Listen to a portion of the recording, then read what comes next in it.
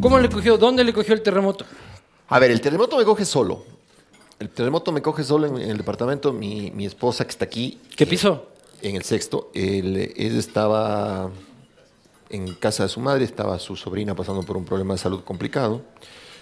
Y mm, yo estaba solo, estaba, estaba solo, hueveando en el celular. Por eso es que lo primero que hago es la cojudez de decir temblor en el celular.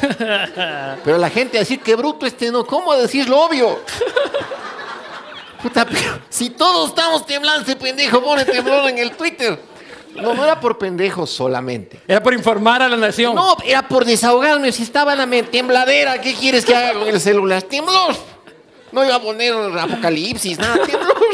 Pero, pero nunca me imaginé, la verdad nunca me imaginé que era una cosa tan grave y, y esta vez sí me asusté. Yo soy, yo soy más bien valiente para los temblores. Eso decimos todos, ¿no? Todos los hombres, no, a mí el temblor, todo bien. En realidad fue mi mujer la que se escandalizó. Por eso salimos los dos en pijama. Pero, um, no, si eso de salir en bata de baño no, no es lo mío, sino que mi mujer me sacaba. El tema del temblor es un tema de virilidad, en serio. Es como que todos saltamos y luego no, vos, vos lloraste más. Vos, vos, vos- vos saliste corriendo. No, no, pero es que en, en mi caso hay una explicación. Mi, mi mujer es, es eh, médico y además es especialista en seguridad industrial. Entonces me dice, verás, todos los días me has repetido antes del temblor. Si te toca el temblor, no te acerques a las ventanas, puta, no te metas debajo de la mesa, no salgas corriendo. Entonces te choquea, no sabes qué hacer. No- Claro, vos estás en le el faltó celular. el no tuitees. Claro. Esa, esa por suerte no me dijo.